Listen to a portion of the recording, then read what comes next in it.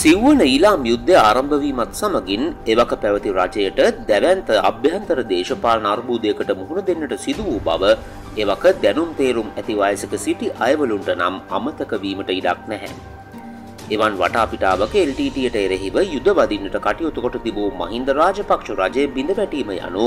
යළිත් වතාවක් එල්ටිටිය බලවත්වීම බවට එක් පසකින් මතයක් නිර්මාණය වෙද්දී අනෙක් පසින් නිර්මාණය වූයේ කිසිදා පරාජය කළ නොහැකි ඇයි සම්මත එල්ටිටියත් සමගින් යුදවදින්නට යාමේ එකම ප්‍රතිඵලය තරුණ ජීවිත නිස්කාරණය විනාශවීම බවට වූ මතයයි. එබැවින් මඩේ සිට වූ ඉන්නක් වැනි ආණ්ඩුවේ පාර්ලිමේන්තු බලය රැක ගැනීම සඳහා විවිධාකාරයේ ඩීල් දමාගන්නට සිදුවෙද්දී කොටි සංවිධානයත් සමගින් තවත් සාමසාකච්ඡා වටයක් සඳහා සහභාගී වන්නට රජය කටයුතු කළේ ජාත්‍යන්තර පීඩනය අභිමුව කිසියම් හෝ නම්්‍යශීලී භාවයක් පෙන්නුම් කළ යුතුම වූ නිසාවෙන්. එල්ටටත් සමගින් ජිනීවා නුවරදී පැවැත් වූ එම සාකච්ඡාවාරය ලංකාවේ පාලන බලය හෙබ වූ ඕනෑම රජයක් සාකච්ඡා මාර්ගෙන් සාමය උදාකර ගැනීම සඳහා සිදු කළ අවසන් උත්සාහය වශයෙන් පමණක්ම නොව තමිල් සෙල්වන් LDT සාකච්ඡා කණ්ඩායමේ ප්‍රධානත්වය දැරූ ප්‍රථම සහ අවසන් අවස්ථාව වශයෙන්ද ඉතිහාසිතෙක් වූ එම සාම සාකච්ඡා සම්බන්ධයෙන් කිසිදා රටට හෙළි නොකළ කතාපුවතයි මේ.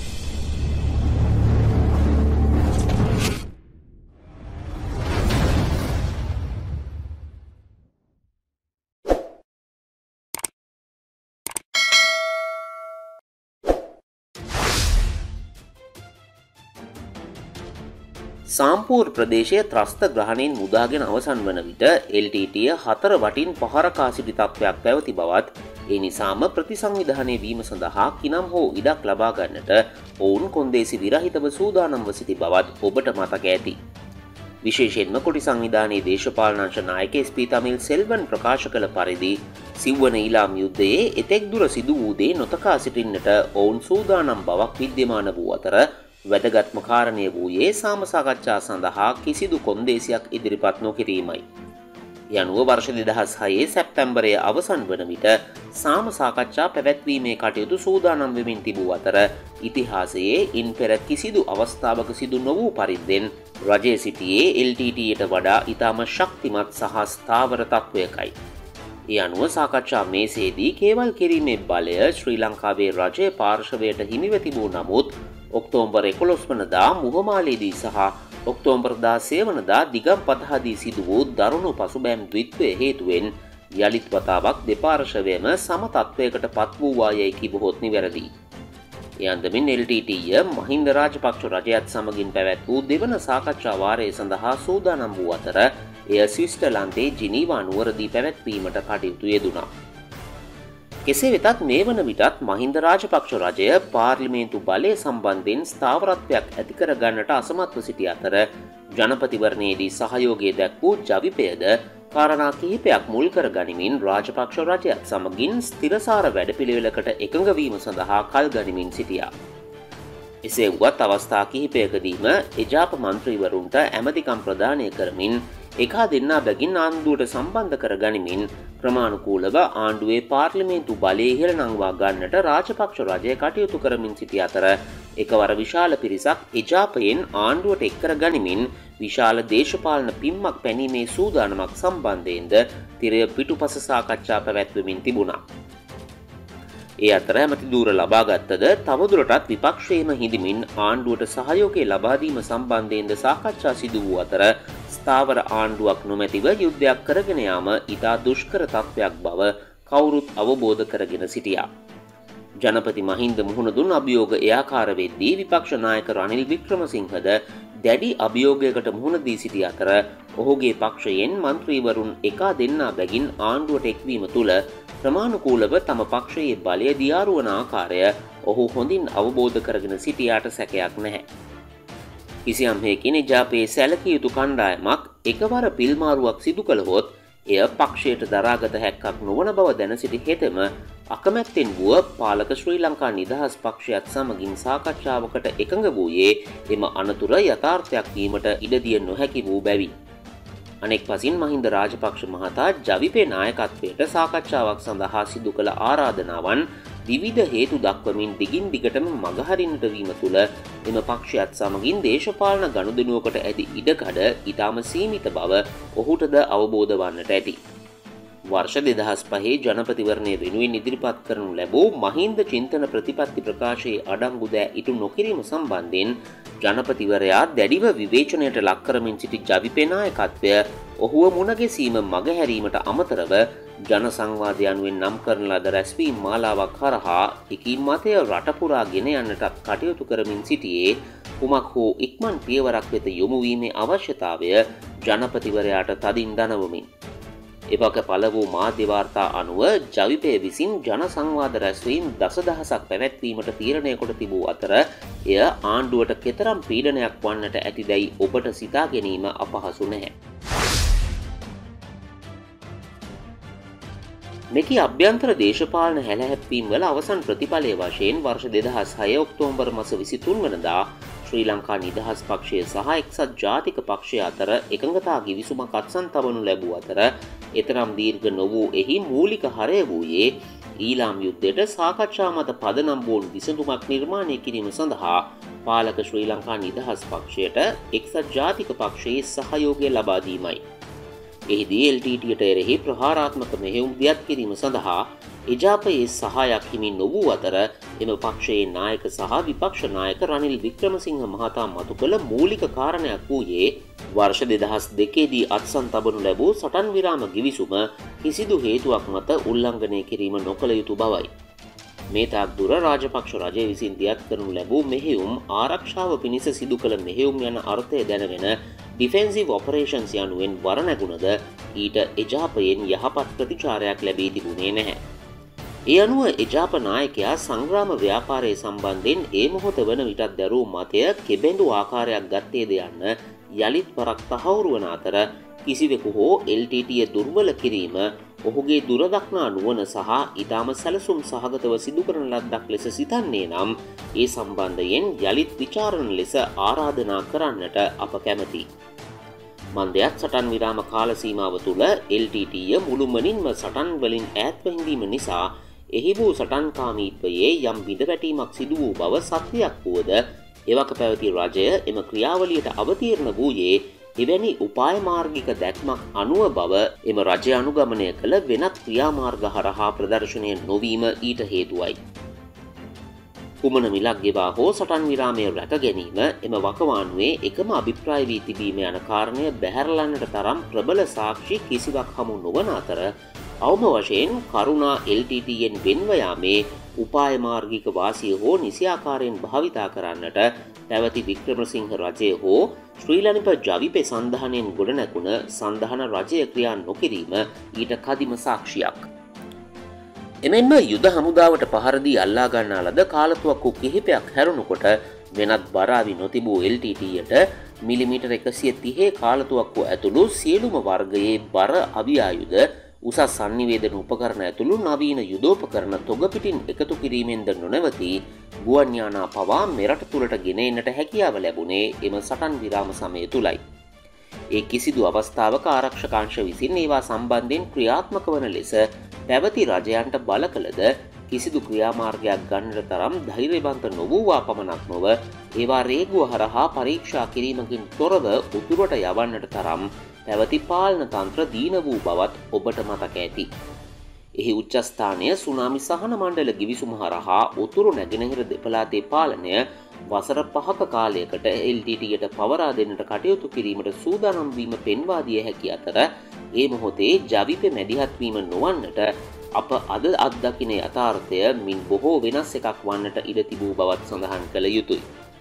සටන් විරාම සමය තුළ එල්ටටිය මෙයාකාරයෙන් ශක්තිමත් වෙද්දී රජයේ හමුදාවලට රාජකාරි කිරීම සඳහා අවශ්‍ය පතුරම් තොගයන්වත් නොතිබූ බව අප වගකීමෙන් සටහන් කරන අතර දෙදහස් දෙක සහ දෙදහස් පහ අතර පැවති කිසිදු රජයක් සටන් විරාමයේ අතුරු පල ලෙසින් ලැබුණ වාසිසාගත අවස්ථාවන් හෝ උපායමාර්ගික වශයෙන් ත්‍රස්ථබාදය පරාජය කිරීම සඳහා භාවිතා නොකළ බව පවසන්නේ ඇයි දැයි ඒ අනුව ඔබට වැටහෙනවා ඇති. කෙසේ වුවද වර්ෂ දෙදහස් දෙකේදී අත්සන් තබනු ලැබූ සටන් විරාම ගිවිසුම හරහා අපට ලැබුණ සාධනීය ප්‍රතිඵල කිසිවක්ම නොමැති බව පැවසුවහොත් එය ඉතාම මුග්ධ ප්‍රකාශයක් වන බවත් සඳහන් කළ යුතුයි.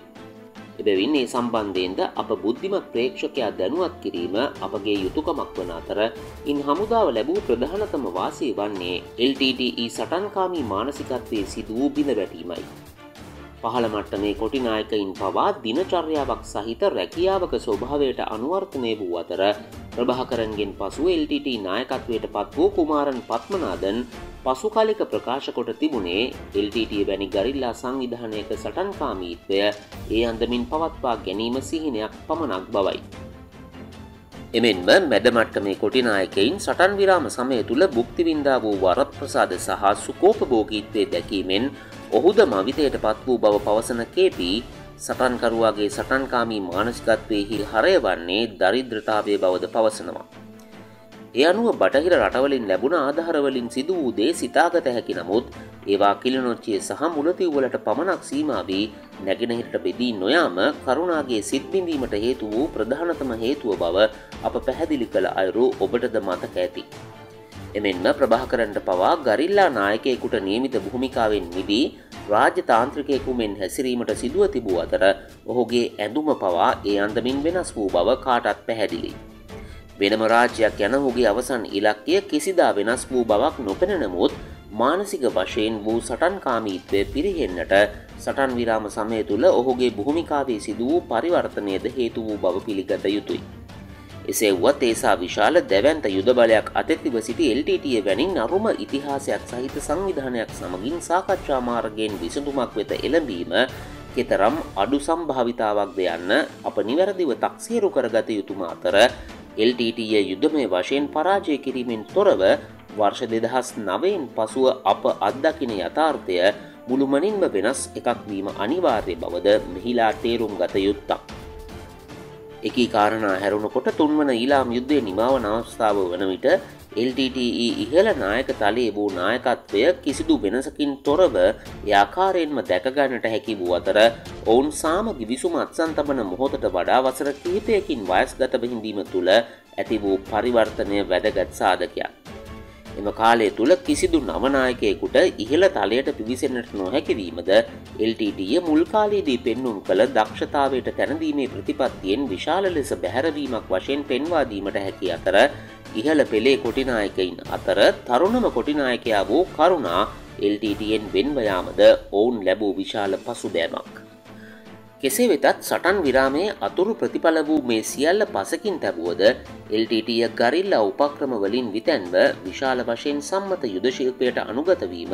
සිව්වන ඉලාම් යුද්ධය තුළ ඔවුන් ලැබූ අසාර්ථකත්වයට ප්‍රධාන වශයෙන් හේතු වුණා. ඊට සමගාමීව යුද හමුදාව සම්මත සටන් උපක්‍රමවලින් බැහැරව කුඩා කණ්ඩායම් ක්‍රියාන්විතවලට යොමුවීමෙන් විශාල සාර්ථකත්වයක් ලබාගණ්ඩ සමත් වූ අතර භූමියේ පමණක් නොව සාගරයේ පවා එම වෙනස සිදුවනා. ඒ අතර ගුවන් හමුදාවද ඉන් පෙර කිසිදු සමයක සිදු නොකළ අයුරින් උපාමාර්ගික වශයෙන් ප්‍රතිඵලදායක ඉලක්ක හඹායන්නට පටන් ගැනීමත් නාවික හමුදාව තම මෙහෙවුම් පරාසය විශාල වශයෙන් පුල් කරවීමත් යනාදී කාරණාවන්ද අප හමුදාවන් ලැබූ සාර්ථකත්වයට හේතු වුණා. සමස්තයක් වශයෙන් ගත් කළ සටන් විරාමයෙහි යම් වාසියක් වූයේ නම් එය නෙලාගන්නට කටයුතු කරනු ලැබුවේ මහින්ද රාජපක්ෂ රජය බවත් එහි උපරිම පල නිලා ගැනීම සඳහා සුදුසු නායකත්වයක් ත්‍රිවිධ හමුදාවට හිමිව තිබූ බවත් සඳහන් කළ යුතුයි. මේ අඳමින් මහින්ද රාජපක්ෂ ජනපතිවරයා සහ ජනතා විමුක්ති පෙරමුණ අතර ඇතිවිය යුතුව තිබූ දේශපාලන සම්බන්ධය නිර්මාණය වීමේ ඓතිහාසික අවස්ථාව ගිලිහි ගොස් ශ්‍රී ලංකා නිදහස් පක්ෂය සහ එක්සත් ජාතික පක්ෂය අතර සන්ධානය බිහි වුණා. එම දේශපාලන දීගේ සම්බන්ධයෙන් මහා සංගරත්නය පවා ඉමහත් ප්‍රශංසාභිමුකයෙන් අදහස් දැක්වූද එ නිර්මාණය වූ ආකාරය අනුව එය වැඩිකල් පවත්නාදීගයක් නොවන බවට දේශපාලනයේ දිගපලල්ල දත් අයවලුන්ට සැකයක් වූයේ නැහැ. මන්දයත් මහින්ද රාජපක්ෂ මහතා ඔහුගේ ආණ්ඩුවට එරෙහිව එල්ලවිය හැකිව තිබූ අභියෝගය කල්දමා ගැනීමෙත් රනිල් වික්‍රමසිංහ මහතා ඔහුගේ පක්ෂය දෙකඩවීම වලක්වා ගැනීමේත් අරමුණ පෙරදැරිව ඒ වෙත යොමුවීම ඊට හේතුවයි. මෙවනවි නිශ්ිත අභ්‍යන්ත්‍ර දේශපාලන පසුබිමක් තුළ වර්ෂ දෙදහස් හයඔක්තොම්බර් මස විසි අට වනදා ජිනීවා නුවර්දි ආරම්භ වූ රාජපක්ෂ රජය සහ එල්ටට අතර දෙවන සාකච්ඡා වාරයේදී දැකගත හැකි වූ ප්‍රධානතම වෙනස්කම වූයේ ඉතිහාසේ ප්‍රථම වතාවට එල්ටට කණ්ඩායමේ ප්‍රධානත්වය තමිල් සෙල්වන්ට හිමිව තිබීමයි. කොටි න්‍යායාචාර්යවරයා වූ ඇන්ටන් බාලසිංහම් දැඩිව රෝගාතුරව හිඳීම හේතුවෙන් මෙම පියවර වෙත යොමුවීමට කොටිනායකත්වයට සිදුව තිබූ අතර ජේම් නම් සන්නද්ධ කොටිනායකයාත් කොටි පොලිස්පති වශයෙන් සැලකූ බාලසිංහම් නඩේසන් නැමැත්තා ආදීන් සහභාගීව සිටියා. රජයේ දූත පිරිසෙහි ප්‍රධානත්වය අමාත්‍ය නිමල් සිරිපාරල්ද සිල්වාට හිමි වූ අතර ඔහුත් සමගින් ඊට එක්ව සිටි එවක පොලිස්පති චන්ත්‍රා ප්‍රනාාන්දු පැවසූ කරුණක් හේතුවෙන් නඩේසන් ඉමහත්සේ අපහසුතාවයට පත් වූ බව වාර්තා වුණා. කොටි පොලිස්පති ධූරය හෙබ වුවද නඩේසන් ශ්‍රී ලංකා පොලිසියේ කොස්ථාපල්වරයෙකුව සිටි බව කොයි කවුරුත් හොඳින් දැන සිටි අතර ඔහු විවාහව සිටි සිංහල කාන්තාවද ශ්‍රී ලංකා පොලිස් සේවේම නිරතව සිටි තැනැත්තියක්. එබැවින් ප්‍රනාන්දු මහතා අතීතයේ යම් වකවානුවක නඩේසන්ගේ බිරිඳ තම කාර්ය මණ්ඩලේ යටතේ රාජකාරි කළ බව පැවසීම නඩේසන්ව ඉමහත්සේ අපහසුතාවයට පත් කරන්නට සමත් වූ බව සිද්ධිය දුටු මාධ්‍යවේදීන් වාර්තා කරනු ලැබූ අතර ඉන් අනතුරුව සාකච්ඡා අවසාන වන තුරුම නඩේසන් ප්‍රනාන්දු මහතාට මුලිච්චි නොවීමට වග බලාගත් බවද සඳහන්. කෙසේ හෝ වේවා මෙම සාකච්ඡා වාරයේදී තමන් අර්බුදේ හරයාත්මක කරුණු සම්බන්ධයෙන් සාකච්ඡා කරන්නට සූදානම් බව තමිල් සෙල්වන් රජයේ දූත පිරිස ඉදිරිපත් කළ මූලික කරුණු දැක්වීමට ප්‍රතිචාර වශයෙන් සඳහන් කළ නමුත් ඔවුන්ගේ වාරය පැමිණි විට තමිල් සෙල්වන්ගේ අවධානය යොමු කළේ ඒ නයින් මාර්ගය විවෘත කිරීම සහ උතුරේ උද්ගත වී ඇති මානුෂ්‍ය අර්බුදය සම්බන්ධ කාරණාවලටයි. උතුරේ ජනතාව මුහුණදී සිටින ප්‍රශ්න බොහෝමයකට හේතුව LTTE ක්‍රියාකාරීත්වය බව කරුණු කාරණා සහිතව පෙන්වා දෙන්නට රජයේ දූත පිරිස කටයුතු කළ අතර එම ජනතාවගේ අවශ්‍යතාවයන් සපුරාලන්ට අවශ්‍ය සියලු දෑ හිඟයකින් තොරව ලබාදීම දැනටමත් සිදු කරගෙන යන බවත් පෙන්වා දුන්නා. එසේ වුවත් LTT විසින එම අත්‍යවශ්‍ය ද්‍රව්‍ය පවා ජනතාවගේ දෑතර ලැබීමට පෙරාතුව කොල්ල කන බවද මතු කළ දූත පිරිස කිසිදු හේතුවක් මත ඒ නයින් මාර්ගය විවෘත නොකරන බවත් අවධාරණය කළා. සැබවින්ම මේ වන විට යාපනය අදද්වීපය තුළට රහසිගතව රිංගාගත් කුඩා ත්‍රස්ථ කණ්ඩායම් විසින් දියත් කරනු ලැබූ ප්‍රහාර හේතුවෙන් අර්ධත්වීපේ ස්ථාවරත්වය තර්ජනයට ලක්ව තිබූ අතර ගොනා හැරෙන්නේ කිනම් පොල් පැලයට දැයි රජයේ දූත පිරිස දැන සිටීම හේතුවෙන් LTTයේ දෙබිඩි රංගනයට හසුවීමක් සිදු වූයේ නැහැ. එපමණක්ම නොව අවසංසාකච්ඡාවාරය අවසන් වූ මොහොතේ පටන් එල්ටටිය විසින් උතුරු නැගෙනහිර ප්‍රදේශ තුළ සිදු කරන ලද සටන් විරාම කොන්දේසි උල්ලංඝනය කිරීම සම්බන්ධයෙන්ද සාක්ෂි සහිතව කරුණු දක්වන්නට රජයේ දූත පිරිසෙහි ප්‍රධානයක් කටයුතු කළ අතර දැනටමත් විවෘත වැතිසයක් පෙන්වන ඕමන්තේ මුරපොළ හරහා වන්නේට අවශ්‍ය සියලු දෑ යවන්නට රජය කටයුතු කරමින් සිටින බවද ඔහු පෙන්වා දුන්නා. අවසාන වශයෙන් සටන් විරාම ගිවිසුම රකින්නට රජයට ඇති උමනාව සහ රජය ගෙන ඇති පියවරවලින් කිනම් ප්‍රතිශතයක් එල්ටටිය විසින් ගෙන ඇතිදැයි රිජුව ප්‍රශ්න කරන්නට තරම් රජයේ දූත පිරිස ඉතාම රජස්ථාවරයක් ගත් අතර එල්ටටිය විසින් කාලය කාදමන්නේ හරයාත්මක කාරණා සාකච්ඡා කිරීමට නොව එල්ටටයට සංග්‍රාමික වශයෙන් වැදගත් වන කාරණා ව්‍යංගයෙන් ගෙනහැර දක්වන්නට බවයි. එය අනුව සැලසුම් ගත සාකච්ඡාවාර ද්විත්වය ඔක්තෝම්බර් මස විසින් නම වනදායි නවසන් වූ අතර ඉදිරි සාකච්ඡා සඳහා දිනයක් ලබා දෙන්නට LTT කණ්ඩායම උනන්දු වූයේ නැහැ. යාකාරයෙන් ශ්‍රී ලංකාවේ බලය හෙබ වූ කිනම් රජයක් හෝ LTDE සංවිධානයක් සමගින් සිදු කළ රිජු සාකච්ඡා එතැනින් හමාර වූ අතර එවන් කෙලින් තීරණයක් ගැනීම සඳහා ශ්‍රී ලංකාවේ හමුදා යාන්ත්‍රණය මෙහෙවීමේ වගකීම කාර්යශූර පුද්ගලයින් වෙත පැවරීම කාර්යශූර පුද්ගලයන් වෙත පවරා තිබීම නිසැක වශයෙන්ම මානසික උත්තේජනයක් සහ ශක්තියක් වූවාට කිසිදු සැකයක් නැහැ. මේත් සමගින් සාමය ජාවාරමක් බවට පත්කොටගෙන සිටි විවිධ පාර්ශවයන් කලබලයට පත් වූ අතර ඔවුන්ට හිතවත් මාධ්‍ය යොදා ගනිමින් රට තුළට බිය පතුරවන්නටත් ඔවුන් කටයුතු කළා.